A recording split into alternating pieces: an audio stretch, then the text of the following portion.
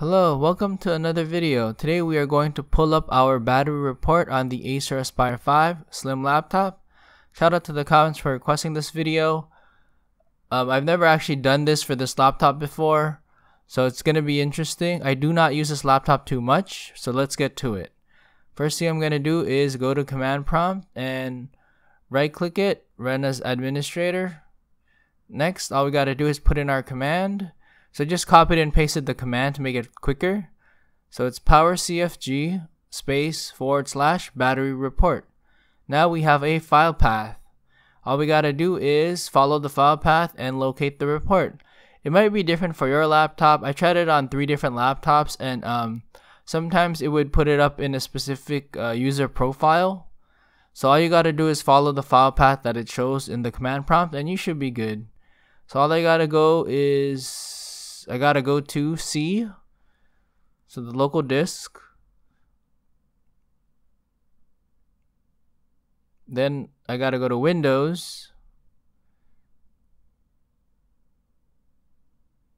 So yeah, I'm just following the file path laid out for us. And then we just gotta go to system32.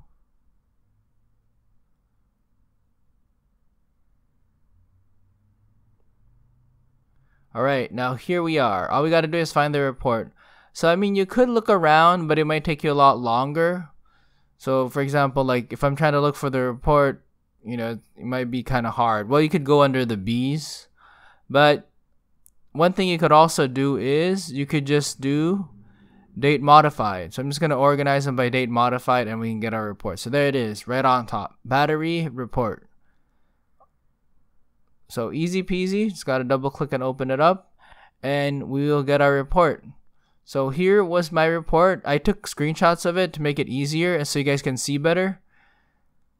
So you got your installed batteries, design charge, my full charge capacity right now.